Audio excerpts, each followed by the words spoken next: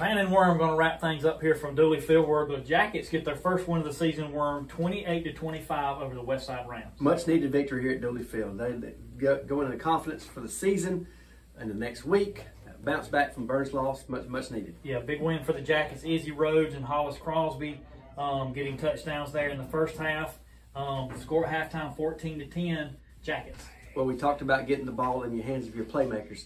They did at that time. Izzy Rose, best one of the best athletes on the field. You got to give him the ball. He showed it that time. Yeah, and there were several. Up. Diggins got player of the game. Sims Carr player of the game. He had a couple of big catches. One of them that got brought back there late in the uh, second quarter.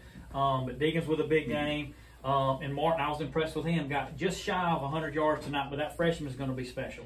Freshman is going to be special. Diggins, much, much more uh, valuable with the ball in his hands, like we said. But after yards after the catch, when he catches it, he can make things happen. Martin going to be special as a freshman. Yeah, it seemed that short passing game was the bread and butter tonight, and especially there in the third quarter and into the fourth, that running game really took over. That's where Martin got the line share of his yardage, got his first rushing touchdown uh, to go along with that Hollis Crosby to Peyton Diggins touchdown. Final here, 28 to 25 Jackets. I tell you, Westside uh, gave us a battle, and we knew they would. Um, a couple men down due, due to COVID and all, but uh, hard fought victory. Physical game tonight. Coaches uh, did a great job there at the end of the game. Time management, clock management. So much needed victory. And some big third down and fourth down stops for that defense against a really good uh, potent running attack from Westside, but they made some big third and fourth down stops to get us the football back. Gomez was our Sims and Cars player of the game. I tell you, he came up big. I think he had eight tackles, one huge on a fourth down play little guy, five seven, about 150 pounds, but he's not afraid to stick his nose in there. Yeah, and a quick note about special teams. Honeycutt was back tonight, made a big difference, made all his extra points, but those kickoffs, getting them deep inside the 10 yard line, good coverage. So special teams also helped out the win tonight. Huge difference right there having Honeycutt back in the game. So Jackets go to one and one on the season. Next week there's going to be a game on Thursday night. Mark your calendars. Thursday night the Jackets will travel over to Greenville to take on